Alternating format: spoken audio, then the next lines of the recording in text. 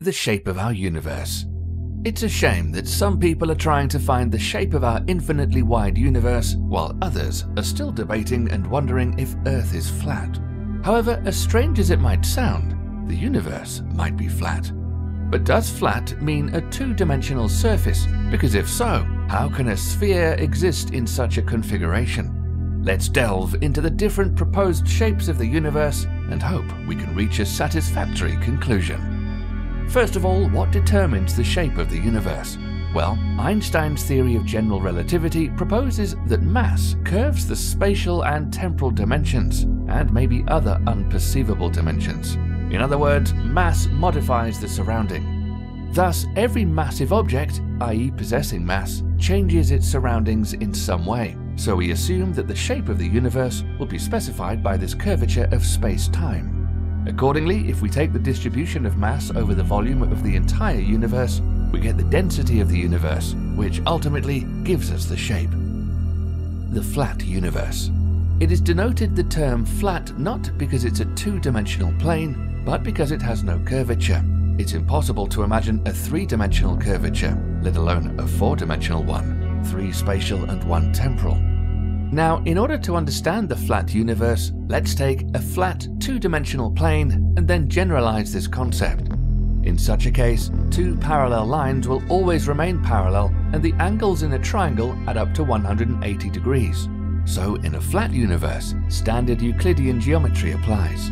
We also know that the universe is expanding, and if we truly live in a flat universe, there exists exactly enough mass to cause the rate of expansion to slow down until it eventually stops as time approaches infinity. Thus, the universe will forever expand, but as it expands more and more, its rate will decrease. The open universe. This universe has a negative curvature, which means it's hyperbolic in shape or saddle-like to better imagine it. Same as before, take a two-dimensional hyperbolic plane and then generalize.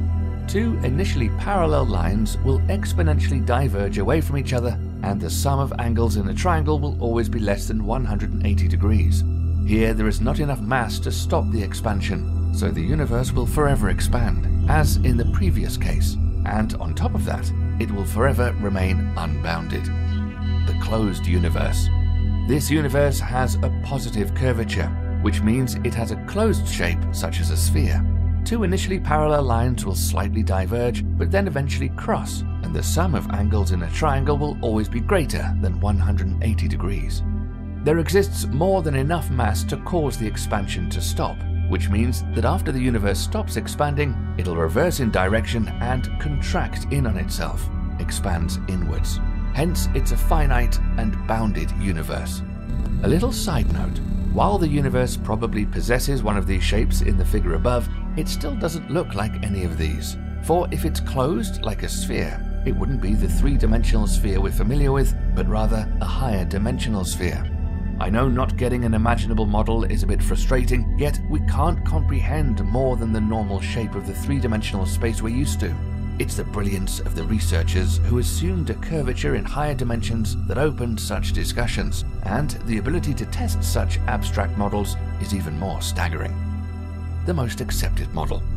So which one is it?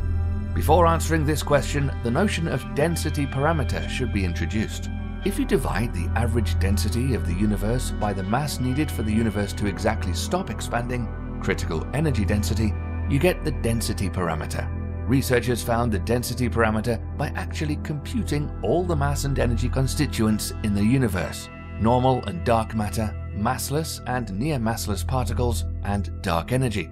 Then taking the average density and finally dividing by the critical energy density.